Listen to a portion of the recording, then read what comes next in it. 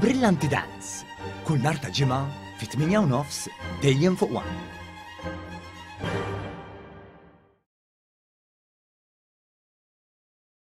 L-avukati ta' George De Giorgio, li nstab ħati li qatel lil Daphne Caruana Galizia u ġie sentenzjat anki minħabba reati serji oħra, ħarġu jikkundannaw id-dikjarazzjoni tal-Prim Ministru Robert Abela li l-fatt li De Giorgio ngħata permess mill-Qorti biex joħroġ mill-ħabs għal okkażjoni tal-familja Huwa insensittiv.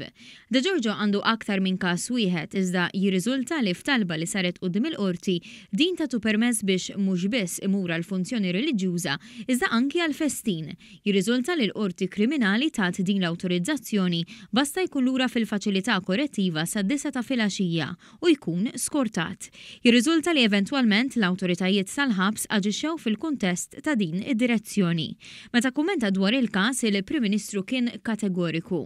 Deċiżjoni mill-iktar insensittiva lejn is-soċjetà tagħna.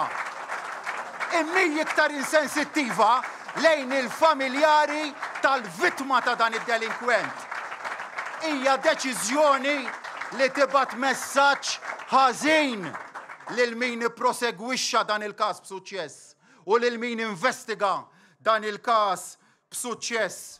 Iżda l-avukati ta' De Giorgio dan l-argument ma kellux isir għaliex, skont huma, il-Qorti mhux togħġob lil Masestri iżda tapplika ġustizzja skont il-liġi Huma kkummentaw dwar dan mal-Malta Today, f'artiklu li fih ikkundannaw ukoll ir-rappurtaġġ tal-midja.